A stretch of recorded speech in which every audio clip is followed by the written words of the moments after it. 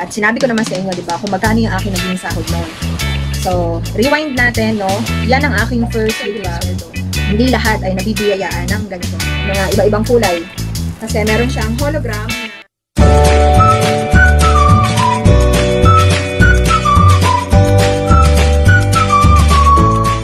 Hello, kamusta mga kasuki? Ayan, medyo paling ang ating camera. Ayan. So, kamusta mga kasuki? Tayo ay ah, medyo natagalan na naman sa ating ah, ginawang uh, pagbabalag. Ayan. So, dahil nga ngayong araw na to, eh, sunod-sunod no, na dumating yung ating mga pa-order sa Shopee. Ayan. So, ayan, meron tayong tatlong item na mga dumating sa Shopee. Eh, naisipan ko no, na why not, i-vlog ko naman. uh, dati-rati ko naman tong ginagawa no, na binablog ko yung mga in-order ko sa Shopee. Ayan. So, dahil nga naisipan ko na i-vlog yung aking order sa Shopee. Ayan. So, kitang-kita aking tigyawat. Eh, ayun. Gusto, gusto kong uh, magpasalamat no, sa inyong lahat. Yan. Sa lahat ng aking mga kasuki na mga subscribers. Ayan. So, maraming salamat sa inyo no, dahil uh, tayo ay nasa 16,000 0.1 na subscribers. Ayan.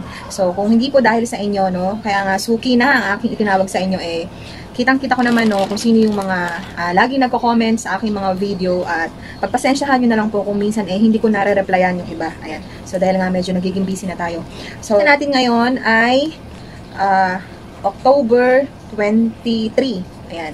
So ano bang meron ngayong pecha, bakit naisipan ko mag-vlog? Ayan. So alam niyo naman mga kasuki, no? Dahil, uh, so, kukwentaan ko kayo habang nag-unboxing tayo. So, mga puro JRS, ay JRS tuloy, puro JNT, yung ating courier. Ayan. So, naaalala nyo pa ba mga kasuki kung kailan ako huling uh, nag-upload ng video about sa aking YouTube sweldo. Ayan. so, ayan mga kasuki. Kung maaalala nyo, no, yung unang-una at huli kong upload about sa aking YouTube sweldo eh nung uh, March pa. Ayan. So, March 21. Ayan. March 21, uh, nakatanggap na ako no, ng email kay kay YouTube, no, kay AdSense na ako nga ay makakasweldo na. At sinabi ko naman sa inyo, di ba, kung magkano yung aking naging sahod noon. So, rewind natin, no? Yan ang aking first YouTube sweldo. At sa mga sumunod, eh, hindi ko na nagawang mag-update, no? Kung ano yung mga next kong sahod. Ayan. So, alam nyo ba mga kasuki, no? Na ang aking first YouTube sweldo ay nung March. Tapos, sumunod kong sweldo ay July. Tapos, August. Ayan. Tapos, ngayon na lang ulit. So, ngayon ay ang aking ika-fourth na sweldo no kay YouTube. Ayan. Ay, sabi mo ba sa So, ayan. So, ayan. So, wala akong ibang masabi kundi maraming maraming salamat. Ayan. So, dahil tayo ay isang simpleng uh, nanay lang, no? Tayo ay isang simpleng nanay lang, no? Eh, thankful pa rin ako na uh, yung aking pag-YouTube, no? Sabi ko nga sa inyo ay tinatake ko as extra income. Ayan. So, naniniwala kasi ako noon nung ginawa ko ang YouTube na ito, no? Na yan, may pera sa YouTube. Yan talaga yung unang-unang uh, pananaw, no? Na kaya ako nag-YouTube dahil sa pera. Ayan. So, gusto ko lang maging klaro ang lahat, no? Hindi na ako magpapakeme-keme pa. So, kaya ako nag-YouTube dahil alam ko, no, balang araw, eh, aani ito ng uh, sweldo. At, yun na nga, dumating na nga yung panahon na uh, inaani ko na nga, no, yung mga ginagawa kong mga yung mga video before na aking mga pinagpupuyatan. Ayan. So, unti-unti ko na siyang inaani ngayon, no? So, kung may, itanan, kung may itinanim, meron kang aanihin. So, nagsisimula na akong umani mga kasuki. Ayan.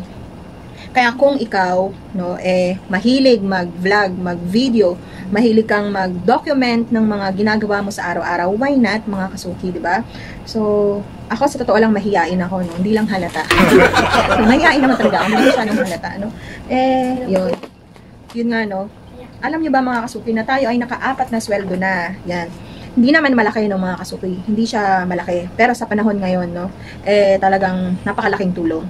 So unang-una, magkano yung aking sinweldo noon? Papakita ko sa screen, pa-flash ko sa screen mga kasuki. So hindi ko to sinasabi para ipagmayabang no na tayo ay may sahod na sa YouTube. ginawa ko ang video ito dahil uh, may mga kakilala ako na uh, nagsisimula pa lang silang mag-YouTube, no? At parami na sila ng parami. Nakikita ko, no? Nakakatuwa nga na, uh, kumbaga, dati, parang uh, yung mga kakilala ko na yon eh wala naman talaga silang hilig pero ngayon nakikita ko mayroon na. So sana ang video ito ay maging inspirasyon, no? Maging inspirasyon no sa lahat at sa kung ikaw, 'di ba? Uh, ikaw nandiyan lang sa bahay, i-vlog mo yung mga alam mong uh, kumbaga hilig mo eh, 'di ba? Kumbaga, yun nga, 'di ba? Kung sabayan mo yung trend ngayon ng panahon, uso ngayon, 'di ba, na kung mahilig kang mag-TikTok, TikTok, maghilig kang mag-live sa Facebook, Facebook, no? Kung gusto mo naman na makip yung mga video mo, no, someday eh mapapanood mo, no? Eh 'yon, si YouTube ay para sa iyo, no? At dahan-dahan lang, dahan-dahan, no? Eh balang araw ito na. Yun, ang dami ko na naman daldal. Ang punto ng video ito. So, para maging inspirasyon, no, sa mga sana mapanood to ng aking mga kakilala no na nagsisimula ng mag uh, YouTube, pasukin ng YouTube no. Eh yun, nakakatuwa no. Sa simula lang yung hirap pero kung gusto mo pag ginusto mo no, wala yung hirap na yan pag ginusto mo. Kumbaga parang pagka nag-YouTube ka no, eh ano yun eh, kumbaga Oo, nandoon, isipin mo, no? Lagi mong i-keep sa mind na balang araw sa sahod ka, balang araw sa sahod ka. At kung meron kang determinasyon, no? Unang-unang kailangan niya ng kailangan mo, determinasyon, no? Para makamit natin, no, yung mga gusto natin sa buhay. At eto na nga, no, sabihin ko na sa inyo. so, hindi na ito ngayon sikreto. Sinisikreto ko pa nung una eh. Kasi nahihiya ako, no? na, pero, hindi naman pala dapat ikahiya, no? Kasi, di ba, hindi lahat ay nabibiyayaan ng ganito, no? So, eto na nga, uh, unang YouTube sweldo ko ay, hmm, ayun, nasa na ba yun? Unang YouTube sweldo ko ay papakita ko sa screen. Ayan. So, paano ka ba sumahod? Paano ka ba makakasahod kay, ano, kay YouTube, no? Kay AdSense, paano ka ba sasahura ni AdSense? Kapag ikaw ay uh, na-reach mo na yung tinatawag na uh, yung $100, no? Pagka na-reach mo na yung $100. Unang-una, paano ba sumahod kay YouTube? Paano ka ba makakasahod? So, syempre, unang-una, dapat meron kang 1,000 subscribers. Pag na-reach mo na yung 1,000 subscribers, ayan, so, ang next na i-goal mo dyan, ma-reach mo yung 240,000 minutes ng watch, ng pag-watch sa mga video mo. Pag na-reach mo na yan, check mo na yung 1,000, kasi kailangan tandem yan eh. 1,000 subscribers, check. Ang isunod mo ngayon, yung 240,000 minutes, yan. Kasi may kakilala ako na nagtanong sa akin, na paano ba ako sa sahod, naka 1,000 subscribers na ako. So, yun nga yung tanong ko. Uh, hindi ka pa muna sa sahod kasi kailangan mo munang ma-reach yung uh, ah, 240,000 minutes. Na-check mo na yung 1,000 subscribers, check mo na rin yung 240,000 minutes. Sa sahod ka na ba kaagad? Hindi pa. Next nun, mamomonetize ka na. Yan yung lalabas na yung mga ads sa mga video mo. Ayan. So, tapos, syempre, no, yung halaga nung, yung nung sasahurin mo, no, eh, nakadepende yan sa kung ilang ads yung lalabas dyan sa screen mo, no. Uh, kunwari, sa isang video mo, eh, nagkaroon ka ng 1,000 views. Ayan. So, sa 1,000 views na yon hindi yun yung views ng video mo. Ang sinasabi doon, no? Yung nakikita mo ay yung figure ng views ng video mo. Pero sasahuran ka based sa views ng ads mo. Ayan. So, doon pumapasok yon yung 1,000 views ng ads, hindi nung video. Yan. Kaya kung meron kang 1,000 na views, isipin mo na lang kung ilang ads yung lumabas doon, no? Sa isang view, ilang ads ba yung lumabas doon. So, doon mo na i-times times yun. At iba-iba ang halaga ng mga ads based sa video. Ayan. So, ayun nga, ipa-flash ko sa screen, no? Hindi naman sa pagmamayabang, pero hindi hindi para ipagmayabang, kundi para maging inspirasyon, no? Kasi marami na akong kakilala na yun na, nagsisimula na silang mag-YouTube. Para maging inspirasyon sa kanila, no? Na yun nga, na yun, uh, kumbaga, yung mga pinaghirapan mo, eto na, eto na siya, no? Kung sa simula, eh, yun nga, eh, pinagpupuyatan mo yun, no? Yung pag-edit-edit, ganyan, kung saan-saan nakakarating. So, eto na. Yan. So, ipa-flash ko sa screen yung, uh, yung, kung ilang dollars yung aking nasweldo at kayo na lang ang mag-times times. Tapos, may nakita pa ako sa group pala, no? Alam nyo ba na, uh, next year, eh, hindi na, hindi na, papayagan na kumuha ng sahod kay Western Union. Ayan. So, hanggang December na lang. Pero, ako ay napabilang sa agad-agad, eh, hindi na pwedeng kumuha sa Western Union. So, March, nakapag-Western Union pa ako. Tapos, uh, July, nakapag-Western Union pa ako. August, hindi na. Naka-bank transfer na siya. Tapos ngayon ulit, October, bank transfer na rin siya. So, nabasa ko sa group, meron akong sinalihan na group na yun nga no, hanggang, hanggang December na lang daw.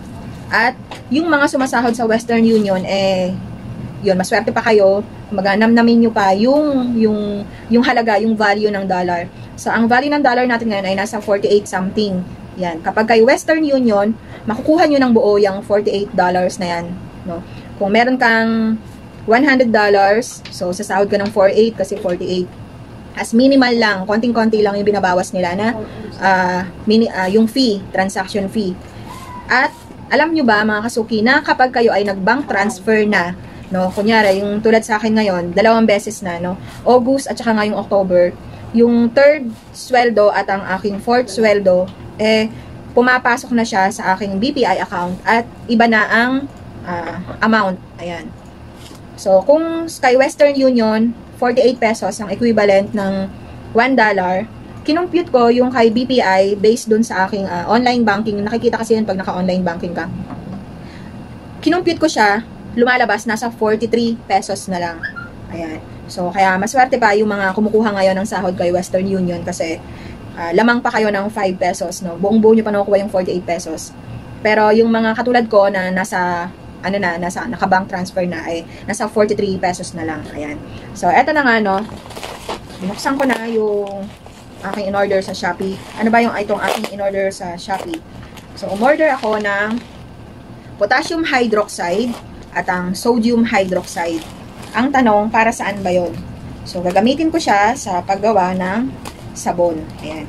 So, kapag gumagawa ng sabon, ang ginagamit ay sodium hydroxide. Pero nung nakaraang video ko, ginamit ko siya sa liquid soap. Ayan, sa dishwashing liquid soap. Ang tanong, bakit kailangan na mag-ship pa ako sa potassium hydroxide? Parehas lang naman siyang ginagamit sa sabon. Ano ba ang effect niya? So, ito yung caustic potash kung tawagin. Pero ito ay potassium hydroxide. Ayan. Ito yung potassium hydroxide ginagamit ito sa mga liquid soap. Ayan. Ito namang isa ay sodium hydroxide. Ginagamit sa bar soap. Bakit ganon? Parehas naman siya na kapag dinilute mo, eh, magiging lye solution. Bakit may ganon pa? May mga iba-ibang uh, category pa siya or element. May potassium, may sodium, ganon.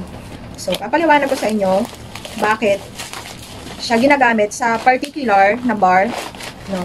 At ginagamit naman siya sa liquid. Ano ba ang nako-contribute ni sodium hydroxide kay kaibahan niya kay potassium hydroxide?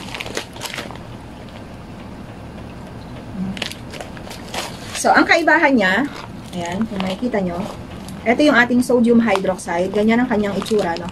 Flakes yung aking binili. Pero may choice naman kayo kung flakes or parang pellet type Ayan. So, sa akin, mas prefer ko yung flakes. Ayan. Mas madali siyang i-scoop. Ganyan. So, si sodium hydroxide, ginagamit sa mga bar soap. Kasi, ang effect nito ay cloudy. No? Kumbaga, parang malabo siya. Parang opaque ang naibibigay niyang uh, color sa mga ginagawa mong sabon. Meron siyang, ano, uh, basta yun, opaque, malabo. Yun. Malabo yung ibibigay niyang uh, finished product sa'yo. Ito naman, si potassium hydroxide, gamit na gamit ito sa mga liquid soap. Kasi kapag si potassium ang ginamit mo, klarong-klaro, no, or clear na clear, transparent ang ibibigay niya uh, finished product sa'yo.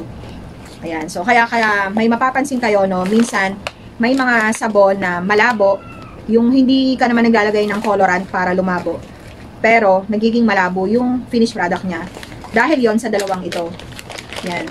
So, hindi naman tatanggi yung sabon, no? Kunyari, gagawa ka ng bar soap.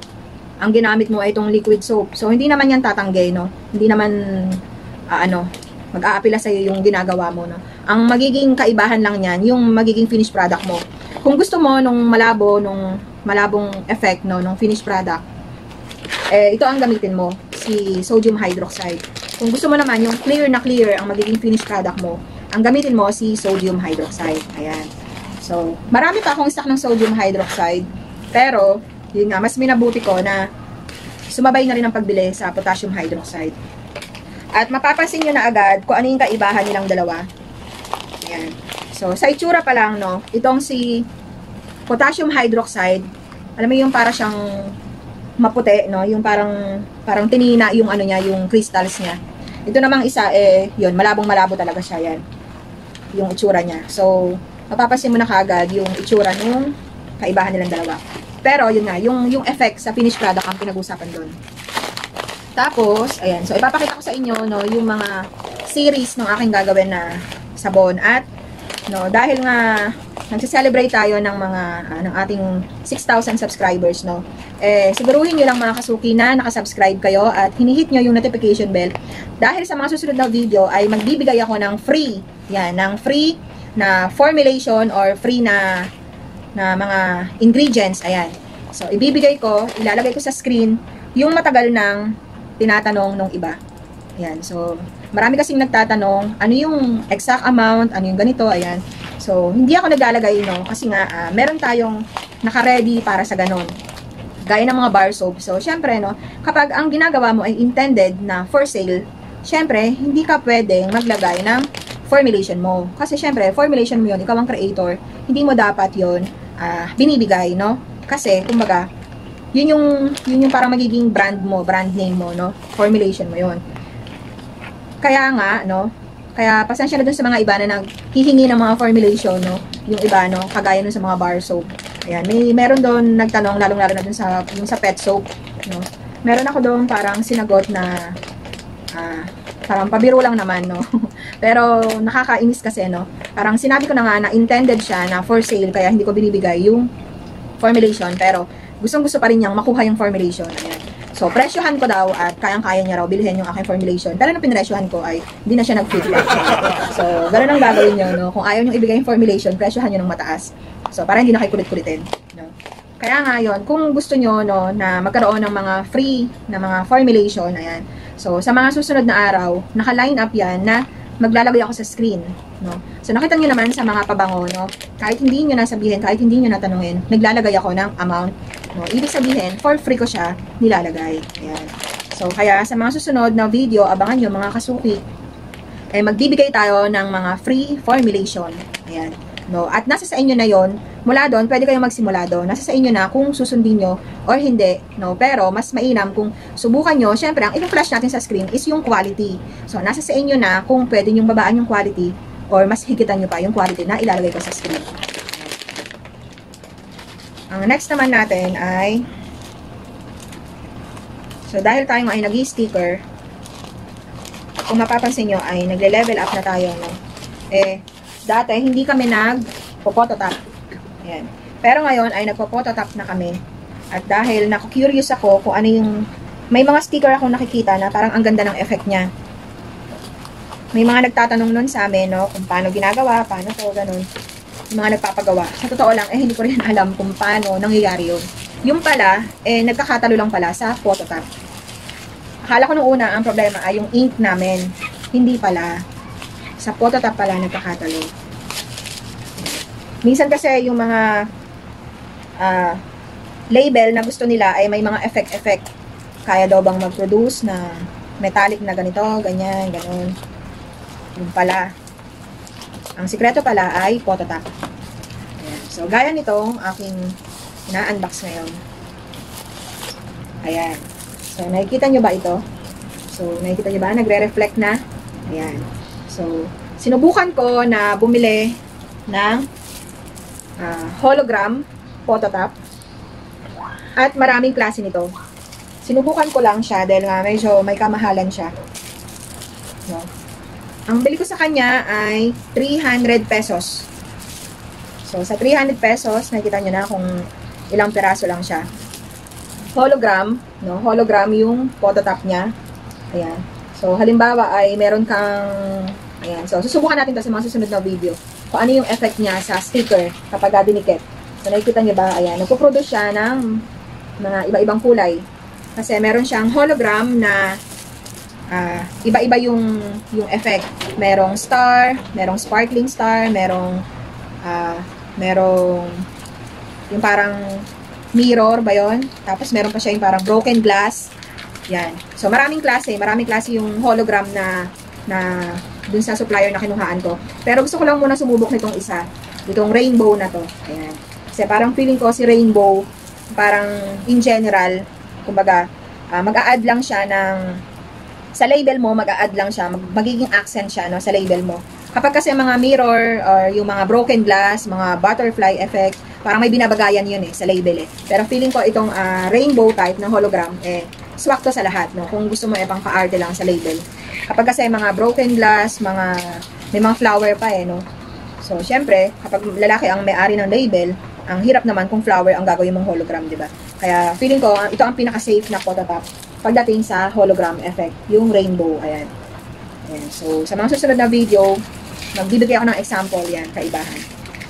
Tapos, eto pa, ito yung pinakamabigat, yan, sa mga dumating. Ito ay airway bill. Ayan. So, dahil nga tayo ay seller ng Shopee, at naging seller na rin tayo sa Lazada, alam nyo ba na kay Lazada, eh, obligado, no, na yung seller ang mag-print ng airway bill. Pagdating naman kay Shopee, choice na, choice na ng seller kung magpiprint ka ng sarili mong airway bill, no? Kung gusto mo na ma-pick up lahat ng item mo, eh, mag-print ka ng airway bill. Pero yung iba, kagaya ni Ninja Ban, kagaya ni GoGo Express, gusto nila na sila ang magpiprint. At yun, nung nakaraang week, eh, nagbigay na ng parang notification si, ano, si Shopee na o parang inuobliga na niya na hanggat maari, eh, si seller na ang mag-print ng airway bill. At siguruhin nga daw na maayos yung, uh, yung airway bill mo. Kapag sinabing airway bill, yan yung nakatap dun sa iyong, ano, sa iyong mga binibili, sa iyong packaging. Yan. Gaya nito. Yan. Gaya niyan. So, eto yan. Yan. So, si airway bill, ang size niya ay A6. Ayan. So, ang binili natin ay 500 pieces. Sa lahat ng sellers sa Shopee, siya yung nakitaan ko na pinakamura. Kasi yung iba parang 100 pieces nang binebenta. Siya parang bultuhan niya binebenta. At mas makakatibid ka kung bultuhan yung pagbili mo sa kanya. Ayan. So, dati ang gawa namin ay piniprint namin sa ano sa photo sticker. Ayan. Pero nag pag kunwari ang order sa iyo ay dalawang piraso lang, minsan tatlo. Sa A4, apat ang magagawa mong airway bill kapag magpiprint ka, no? So, karaniwan, parang sayang yung mga magiging space kapag ka dalawa lang, so puputulin mo sa gitna. Karaniwan sayang kapag ka tatlo. So, yung natitira, eh, hindi mo na magagamit. Kaya, yun. Buti na lang, nagkaroon na ng uh, memorandum si Shopee na kailangan nang gumamit ng A6 para sa airway bill. At may mura tayong nakuhang seller. Ayan. So, ganito ang kanyang itsura. Maraming klase itong ano eh, airway bill. Maraming klase. Pero ang kinuha namin ay yung foldable. Foldable kasi wala naman kaming thermal na, ano ba yun? Yung something na thermal. Wala kaming ganun. Ipiprint lang din namin siya sa regular na printer. Ayan. So, ganito siya. Ayan. Continuous. Pero, kapag gagamitin namin siya, sasalpak namin siya doon. So, putulin na lang namin to. Ayan. So, putulin namin siya, tapos sasalpak namin doon. Ayan. Tapos, set na lang namin yung settings ng A6. Ayan. So, parang regular ka lang na nagpiprint. Ayan. So, makakamura ka kasi ito ay 170 lang yan. Kung may mga kapanood, no, 170 lang siya, 500 pieces na. Kumpara dun sa pag gumagamit tayo ng mga sticker paper, no, eh, mas malaki ang kamurahan niya. Ayan. So, ayan lang mga kasuki, no. Ah, uh, so again, maraming maraming salamat, no, sa mga tumatangkilik sa aking channel, no. At sa mga susunod, no, kung may mga katanungan kayo, comment down below. Kung may mga gusto kayo na uh, itanong at sasagutin natin yan sa mga susunod na video. At abangan nyo mga kasuki yung sinasabi ko nga na mga free formulation na magagamit nyo sa inyong uh, paggawa ng sabon, mapa bar or mapa liquid man ito. Ayan. Tapos may mga naka-line up pa tayo, no? Yung paggawa ng mga toilet cleaner. Ayan. So may nag-request nun sa akin. Susunod natin yan. Tapos gagawa din tayo ng bar soap. Ayan. Yung bar ay bar soap. Gagawa tayo ng detergent. Detergent bar soap. detergent powder. Ayan. So, yung mga, yung mga ginagamit natin sa araw-araw na pwede mo naman palang gawin sa bahay, no? Ayan. So, pang-add yan sa inyong extra income. No? Kung nafe-feel mo na dun ka magaling, no? Sa mga pagbebenta-benta. So, why not subukan niyo, no? So, kailangan mo lang sumubok ng sumubok. Ayan. So, subok lang ng subok para masabi mo na ito ay hindi nag-work sa'yo, ito nag-work sa'yo. Ayan. So, ayan lang mga kasuki. Again, maraming maraming salamat po at